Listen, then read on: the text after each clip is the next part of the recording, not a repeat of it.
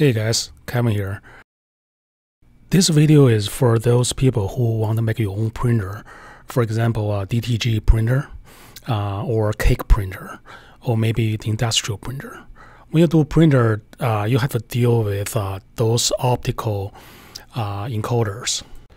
Today I'm going to show you how to work with uh, disk uh, optical encoder. You can see on the disk there's little marks when the disk rotates, the mark is going to deflect the sunlight, not sunlight, deflect the light. If you don't have the background, just Google optical encoder. There are lots of uh, uh, articles explain how it works. Basically, you have one side you have LED that shines the light, and the other other side uh, receive it. Uh, today's sensor today's sensor is from Epson, uh, which is uh, they have a two photo sensor on this side. So you will not only measure the speed, you can also measure the direction of the rotation. Uh, don't worry about the concept right now. Uh, I'm going to show you, and it's really easy to understand later. This disk is mounted on the other side of uh, uh motor. When the motor shaft rotates, uh, the disk also rotates. Here's the encoder and uh, you can see one side is emitter and another one uh, is received uh, light. And uh, there, notice the output, output there are four pins. Uh, you get one pin for the ground and uh, one pin for the power for the VCC. And then you left two more pins. And one pin is the is for the sensor A, another pin is for the sensor B. It doesn't really matter which one, which is A, which is B. When you program, you're going to find out uh, really easily.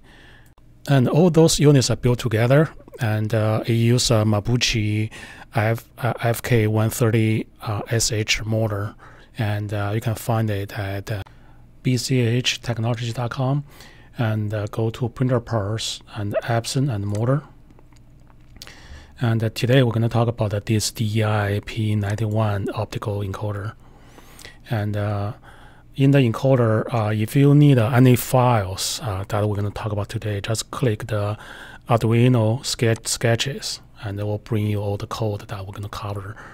If you don't have an Arduino or never had never had uh, any experience with it, uh, go to Amazon and search Arduino Start Kit, and just buy the cheapest. And today we're going to use this one has the mainboard and also has that power regulator. Uh, for example, I have this new project that I need a RGB sensor to tell the color on the substrate.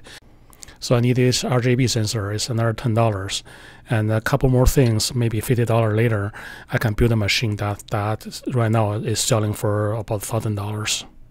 Uh, just to give you some hint, oh, it's more than a thousand dollars. That's how much it costs. Okay, you got your Uno board and uh, don't worry about it. You don't understand it. Just uh, pay attention. The side it has a bunch of numbers, like one, two, three, four, and those are the pins.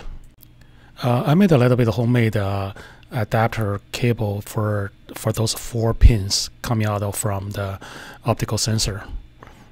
The cable is from the original uh, Epson cable. So Epson uses one white wire. They already tell you this is ground. Okay the ground. So now we have three three wires left. The middle one is the power. So the middle one was supposed to uh, plug in some kind of power source. Then left and right, they are pin A and pin B. For the board, you plug in your computer's USB cord, and those two pins going to provide power. Uh, one's a 3.3 volt, one's 5 volt and you can use any of those uh, grounds as ground. And those number pins you can use either as input or output. So our first plan is uh, connect the white wire, the ground, to the ground, and then we can uh, we connect the middle, uh, the red wire to 3 volts. Uh, you can connect 5 volts. I try 5 volts works too. And uh, then the two data pin, we just connect to pin number 2 and number 3. And uh, we tell the computer uh, we're going to input something and let computer show us. Okay, Y to the ground, middle to the power, that 3 volts, and uh, left over 1 to the, uh, the 2 pin, 1 to the 3 pin. This software is free download and uh, you can get it from the, your kit, the, the kit you bought from, from Amazon. So first we tell the computer we put uh, the pins A in 2, pin B in 3. The rotary position is the reading come from uh, from pin A uh, that I'm just uh, have a variable to hold it, and the previous uh, reading it, of the pin A I'm, I'm saving as a rotary previous position. So when I compare the two positions, I know if the disk is turned or not. So in the setup, we tell the computer that we're going to read from pin A and also I'm going to we're going to read from pin B and we're going to start a serial communication so we, we know what's going on. Rest and the rest of setup is just a couple of prints and show us. The loop is the board going to execute forever and just keep looping. So when I, when I see the previous value and the recent value changed, we know uh, the disk has been rotated. So I'm, I'm going to uh, just print the output and tell us the position of the two pins. So we click upload and that's going to upload the code into the board. Remember we use a serial begin to uh, start a communication with the board. So we can open up uh, the serial window. So you can see the first part of the code executed. So now uh, when I turn up the disk, the, the computer compare two values. If they're different, and only they're different, than the previous value. Uh, print out this uh, print out this AB position. So say if I turn the one way, always, the two value always the same. But if I turn the other way, and uh, the value will be different. That's that's how you detect the direction of the turning. So now we can detect exactly when the disk turned and uh, the direction of turning and we can calculate speed and we can do all sorts of things. Okay, uh, that program will work really well if your computer doesn't do anything else, just sitting there waiting for you to turn the disk. In reality, your computer going to do a whole bunch of things, and uh, so when they when it do other things, you turn the disk, and uh, you it's not going to record it. To be able to record all the changes, you need something called interrupt. Okay, here's the second script. It sounds really fancy, but it's really easy to understand. Interrupt means stop whatever you're doing and do the thing I'm telling you to do right now. Okay, so first thing we need is something called volatile int. That means uh, this number always changes. And uh, we're going to use this number, this variable to store the number marks the, the disk turned. After that, it's uh, easy. Uh, pin A is 2, uh, pin B is 3. And here we define an interrupt function to tell the computer what to do when there's interrupt. So we read from pin A to a variable IA. We read uh, into a, uh, the B into IB. If the two numbers equal, so there's one direction. If it's not equal, there's another direction. Every time we get interrupted, the number marks increase by 1. Uh, the setup is still same. Uh, the serial and connection, pin A and pin B are input, and here is the function attach interrupt.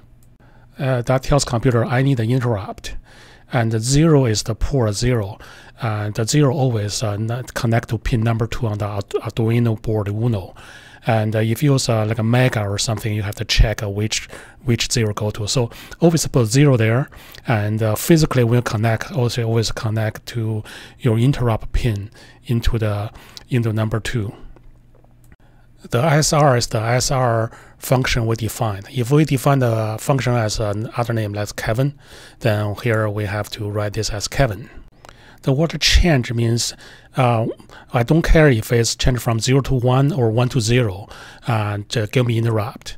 Uh, you can also use the word uh, rising or, or falling, and uh, however that only change or the direction. Like for example, is rising is from zero to one.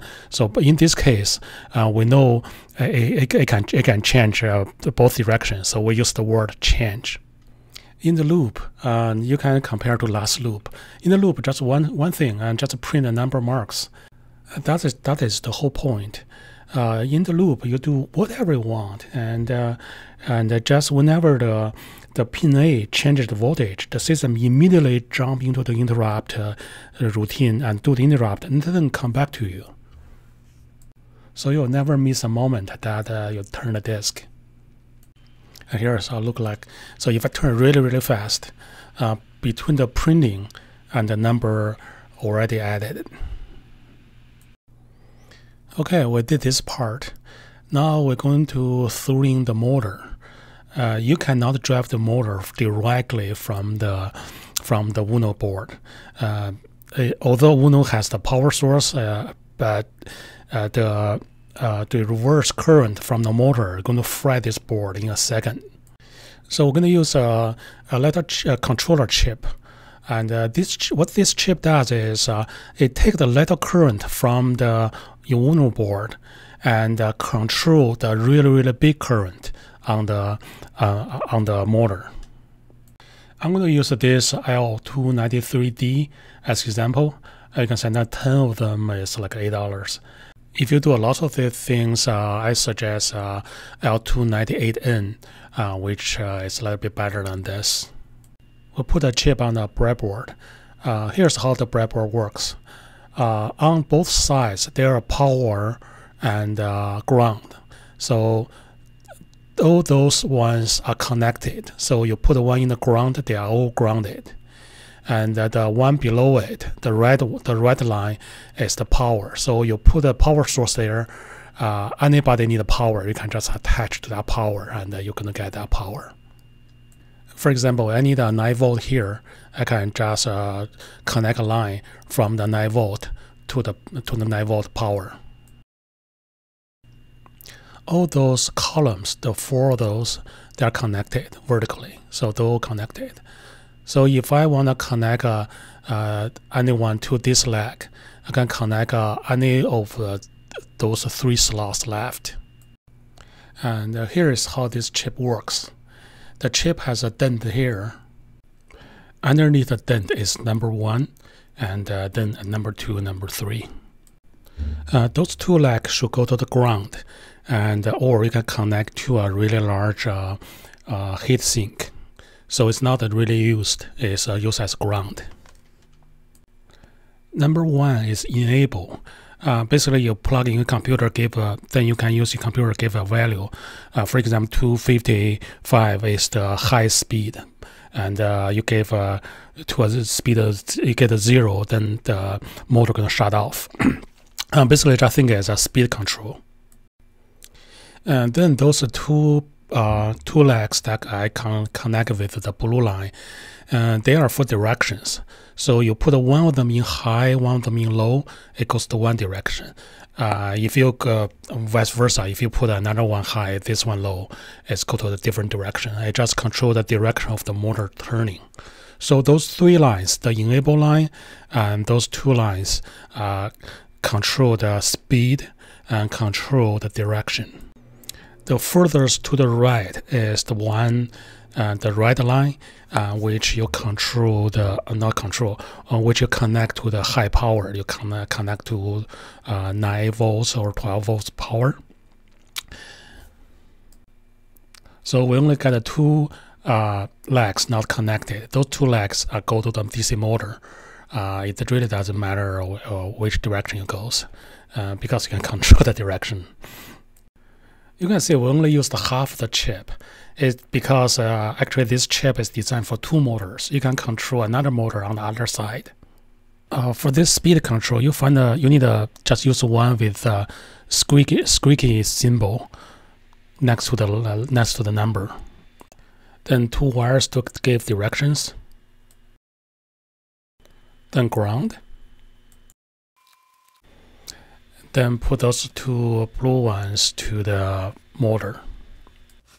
And the last one is for the power to the motor. Your Arduino package comes with a power adapter. This is really cool.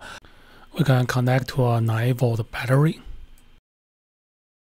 And you can fit right on the breadboard. Then it powers on both sides of, of the breadboard. And also you can control the voltage of each one. So for example, I want this to be a 3 volt. You just move the pin to the 3, connect the two pins on the 3, 3 volt side. Uh, this time I'm going to use the 5 volt. It's a little bit underpowered for this uh, for this motor, uh, but that's all I have. Okay, let's start. Um, pretty easy number marks, and this time I also calculate the number of turns because there are too many marks, and it will be uh, the will be overflowing. And the motor enable is at pin 11. Uh, enable is the one that you control speed, and uh, then the two other like uh, control the direction at 10 and 9. Then from the optical, pin A is on the 2, and the pin B at 3. And remember the interrupts for the Uno board, you have to put on the 2. And here's the interrupt function. I read uh, uh, from a uh, optical pin A and optical pin B. If they equal, it's one direction. If they're not equal, there's another direction. And uh, I, uh, if a number of marks is more than 100, that means a one full rotation. I just set to zero, and then I add, I add increase the number of turns by one. And the setup is just a boilerplate. Uh, pin, uh, uh, this pin is input, that pin is output. Attach the interrupt and give me a serial uh, communication. And motor A, motor B are going to control the direction. So one is high, um, another one must be low. However, I can just put it in the setup because we do not change the direction in this example. And uh, here I define a variable ii, uh, which I use the ii to control the speed. So I assign an ii to the maximum, then one is larger than 125. Why 125 is because I found this motor stalls if it's lower than 125. Uh, but yeah, maybe I should give a higher voltage so it won't stall. But uh, you can try it with a larger uh, larger voltage. So it's going to start with high speed, then get a slower, and slower every time by step of 10. And a outputs the II value, which is the uh, arbitrary number you give to the you give to the enable wire. Uh, remember the speed um, that we use here is just that the arbitrary number is not actually turns. Uh, it, it is just arbitrary number from 1 to 225 will give to the motor, uh, give to the controller. But the number of turns is the one that you actually calculated from your uh, interrupt function. Uh, next example, we're going to use this one as a step motor. Uh, the step motor, the step motor is not like RC motor. Step motor have more wires and uh, more complicated. And uh, uh, the advantage of step motor is it can precisely control the angle it turns, and uh, so it's used for the 3D printing. However, it's more bulky and it's more expensive. So here I define Ix uh, for to control the marks. So basically, I turn the motor off by giving that wire, but it enable wire at zero voltage. And then I say, if you record one mark, stop. Then the next time you record two marks, you stop. Then three marks, you stop. So that's going to control precisely uh, how much the motor can turn. Let's say it works. Hey, pretty cool stuff. Uh, if you like uh, this kind of video, please click like. Uh, otherwise, if I say a thousand people watched it, but there's only like 10, 20 likes, I might just stop making those videos. Instead, I'll make a video for me eating a pie or uh, do a TikTok dance. I hope you like this video. Uh, the emphasis on like.